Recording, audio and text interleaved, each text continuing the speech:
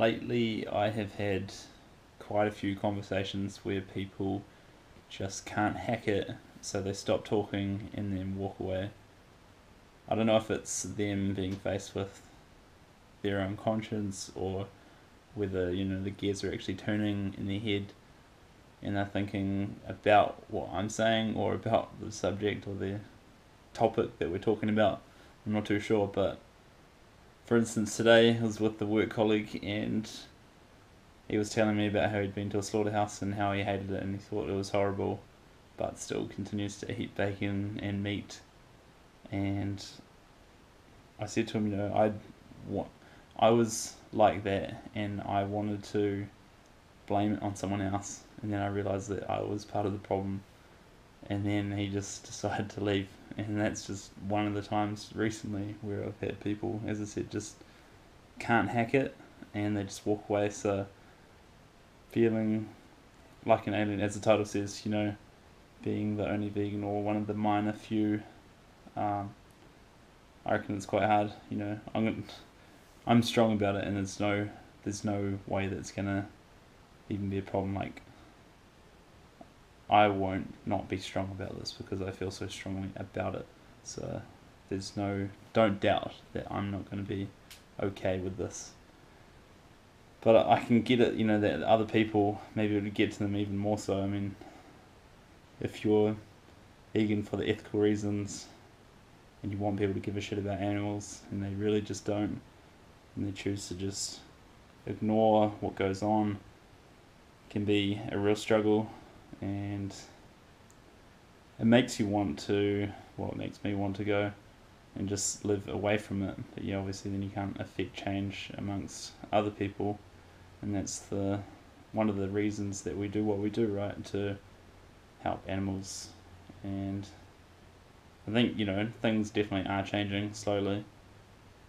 It doesn't happen at a rate that's fast enough for us or for me but there's nothing else you can do. You can't give up. I'm not definitely not going to give up with this. Um, but yeah, certainly lots more awkward conversations to come.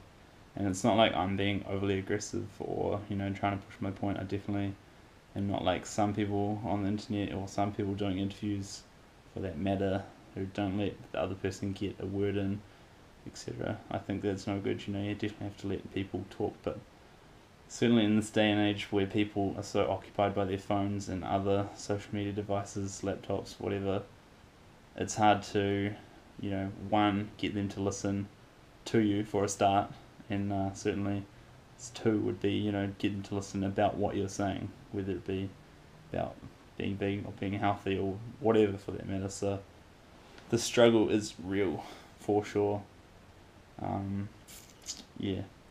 I'm going to keep doing the best that I can do with this. Um, like I said, there's no wavering in me being strong about it. It's no problem. It's frustrating for sure.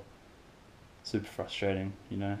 If you're a ethical vegan or just, you know, understand it for all the right reasons, then you'll feel the struggle.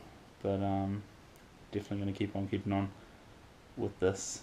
Just love to have a bit of a vent and to my YouTube audience. I don't know who half you are, or more than half you, but yeah, it's nice. It's a way that we can connect in a way that more people understand, you know, the vegan crew understand. That's why I'm going to Chiang Mai because there's so many people on the right level and it definitely gives you motivation hanging out with people that are onto it on the same page, on the same wavelength um, because being in society, as they say, or you know, living amongst other people that aren't awake and choose to stay asleep, yeah, it sucks. But hey, you know, living in a cave or living in some place where no one's seeing what you're doing isn't really an answer either. So, yeah, I don't really know what the the whole point of my video is. I guess it's just just um, perhaps put it out there that you know, feeling like an alien perhaps is okay, and uh, yeah, it's not the end of the world. Things are gonna get better. Yeah, I'm sure of it.